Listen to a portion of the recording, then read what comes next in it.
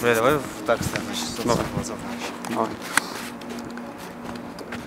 Здравствуйте. М- Максим, а расскажи, а как ты приехал в Ешкаралу, сколько ты проехал до Ешкаралы и с чего вообще?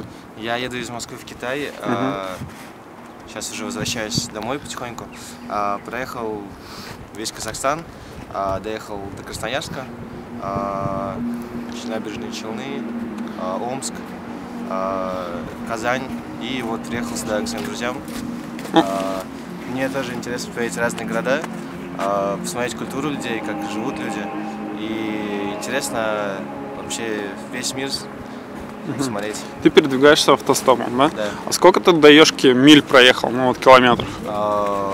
Смотреть с Москвы до Китая около 4000, а с Китая до Красноярска это около, наверное, тоже 4-5 тысяч. И еще сюда это тоже 4 тысячи, около 16 тысяч. А вот люди на дорогах вообще отзывчивые? Да, конечно, п- много добрых людей, много хороших, адекватных. Э, Есть, конечно, стереотип, что когда ты стоишь на дороге, согласуешь, тебя могут ограбить, э, изнасиловать, маньяки. Но на самом деле все гораздо проще. Э, Останавливаются по большей части очень ну, доброжелательные люди. Поэтому бояться, я думаю, не стоит многого. Просто иметь в виду, что такое может случиться, но редко. Круто. Спасибо.